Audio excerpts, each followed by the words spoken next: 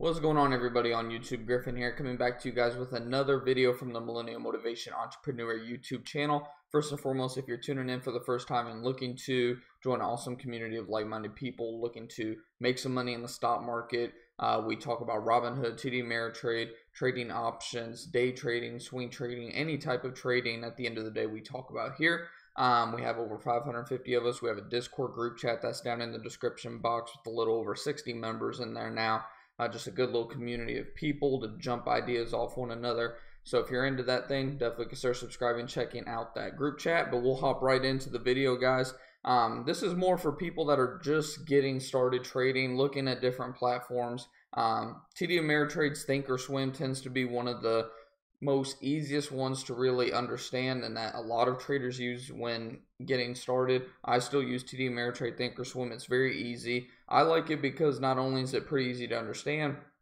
but they also have a paper trading platform that I always suggest to new traders that don't want to risk money starting out. Maybe you want to dip your toes in the options market, futures, uh, any type of market. You can do pretty much any kind of trading within that paper trading account.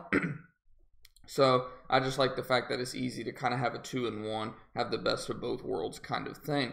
As for actually trading, I don't really suggest TD Ameritrade personally just because their fees are a lot higher. You can go to places like Tastyworks, um, Charles Schwab, even as well, uh, TradeStation. There's plenty of platforms that have a little bit cheaper rates than TD Ameritrade, but that's a different topic for a different day. Uh, but today's video, we're just going to kind of go over how to set up, how to go about getting the different studies, level two quoting, uh, quotes, all that good stuff on your Thinkorswim platform because it's kind of going to look something similar to this when you first load it up. It'll look slightly different. It'll show kind of a home page, a generic home page where it'll it'll have different kinds of things up like Trader TV and all this other stuff you don't really need. Uh, that sidebar we're not really going to worry too much about, but with the sidebar you can insert watch lists and whatnot. Um, but to overall get your chart set up, what you're going to want to do, you're going to be using this main tab. So you can see the monitor, that's more of your trade activity, account statement, all that good stuff. Um, trade is obviously where you would come in and um, I guess place some trades. I haven't actually used it obviously because I use Robinhood currently. Um, there's analyze, there's scan where you can set up your own scanner uh, market watch, and then charts. Charts is where you're going to go over to get started. So you can see, um, for some reason, my chart's not trying to load up currently um, because I don't have it pulled up. So whenever you first pull up the charts tab, it's been so long since I've not had anything pulled up, it confused me as well. So like when you first pull it up, you're gonna have charts, and then you're gonna have this thing called flexible grid. And flexible grid, as you can see, you can pretty much put on like I think you can put up to like six stocks on here. Um, I only use four. I kind of use whatever I'm mainly trading at the time. In this one up here, um, I actually need to move SPY up here and put oil down here. But anything that I've kind of been trading recently is going to be on these, so to speak. but where you're really going to spend majority of your time is just in the main charts tab. And then what you're going to want to do is come over to the sidebar over here. And you'll click chart, boom, your chart will pop up. At first, all it's going to do is it's going to really just pop up the candlesticks. You're not going to have this EMA line, this SMA line, RSI, MACD, any of that stuff. And I'll talk about the studies here in a second. Um, for level two quotes, very simple. Boom, right there. It'll pop up right there. You'll see the price action going on. Uh, I also pull up the live news pretty frequently. I keep it pulled up quite a lot actually, just because you never know essentially when something's going to be coming out that could affect the market. Um, it tends to be slightly late, but it's more something I look at in the mornings and whatnot if there's something overnight that I might have missed. and then, of course, there's a whole bunch of other things. You have your active trader where if you're actually trading and you might want to get in and out or something, you can go ahead and buy a certain amount of stock or whatever. Um, and then your time in sales, I was just going to say when you got filled, how much your average buy cost, all that good stuff. And then obviously just simple trade, you could do it this way as well. Um, now, as for the studies, we'll just hop right into the studies. So studies is going to be right up here. It kind of looks like a time glass almost. And you'll see it says edit study. So you'll go right there. And that is where you literally put in all of your studies. You can go over to the search bar. It's super easy. If you want to copy the ones I essentially have, you can. You can go ahead, pause it, take a screenshot, whatever you want. I use the simple moving average SMA. Um, I have it set at 180 and to change any of these all you have to do is go into the settings tab and you can see my length is at 180. You can change it to whatever color. I mean you can do a whole lot of stuff in here.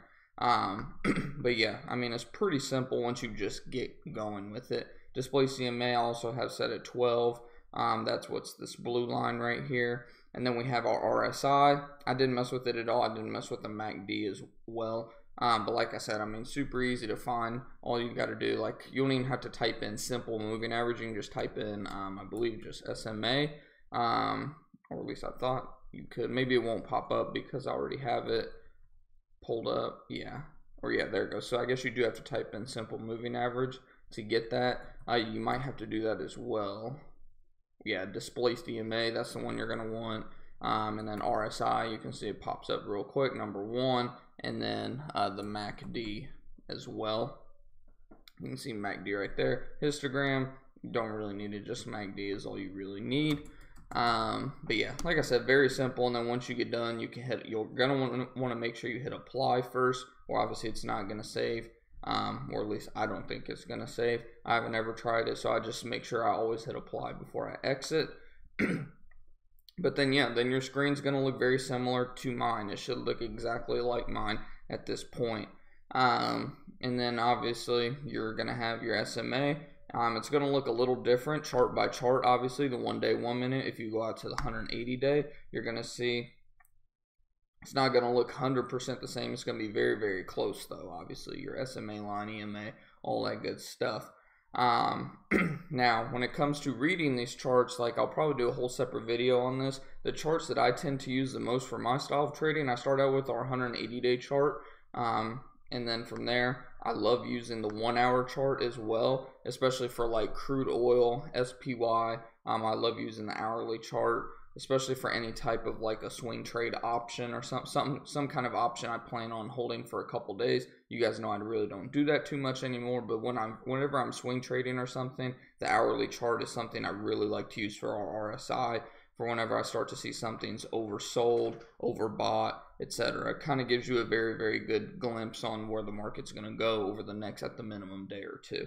So, and then from there, we do our one minute chart, which is what we do for our day trades, of course. So, other than that, um, I don't know if there's anything else that's like super important. You can adjust the style of your time frame. That's another thing I would suggest to do um, because, for example, look at our pull up our 180 day chart.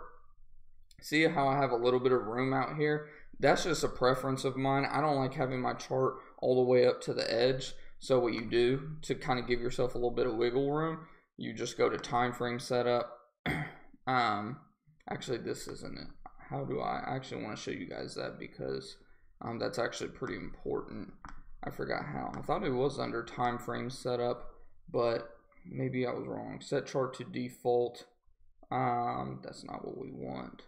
Chart mode, standard, chart type. So chart type, that's where if you're someone that prefers like bars or lines for some reason, I mean, you can go in here and adjust it. I personally like the candle. Um, that's just me.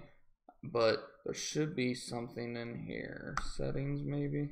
So yeah, you'll go into your settings, and then you'll go into the time axis, and you can see I have my expansion area set as 90 bars to the right. So what that means is 90, if you count all these out, it's going to be 90 bars extra off to the right. So again, because it can't, so again, because it can be very confusing, obviously I, I even forgot, it took me a second there to find it. What you do, you go back into style, time frame, or not time frame setup, style, settings, and then you're going to go over to time axis. And then that's where you'll be able to edit it very quickly. And then, of course, do not forget to hit apply. Um, there's so many different things you can do, like set up your favorite time frames, uh, your appearance where you can fill up or don't fill up. I personally like to fill up, but some people don't. Um, so I mean, like I said, you can get very, very personal with your charts and everything like that. So I mean, that's most of the reasons why I like using the TD Ameritrade Thinkorswim platform. And I mean, by the way, it's free. I mean, I know most um, companies anymore offer like a free platform as well, but I I just think TD Ameritrades is one of the best. It does glitch at times, but I mean, compared to some other platforms I use, it's like far in between. I, I mean, I only have glitches more so with the phone app, and that's usually because of my own cell phone signal. So hopefully this is a good little informative video for those of you, especially those of you that are like super new to trading and looking to get into the TD Ameritrade Thinkorswim platform and trying to figure out how to go about setting up your studies and everything like that. Like I said, it's very simple. I mean, you just go in there and then you just type in exactly what you want. Boom, it pops up. You can probably do this in, I would say, five minutes, 10 at the most if you're just literally starting from scratch and just kind of confused about it all. But like I said, um, if you want, you can stop the video, screenshot mine, see where I have it, price, lower, lower, volume is empty. Um, but yeah, I mean, that's pretty much it.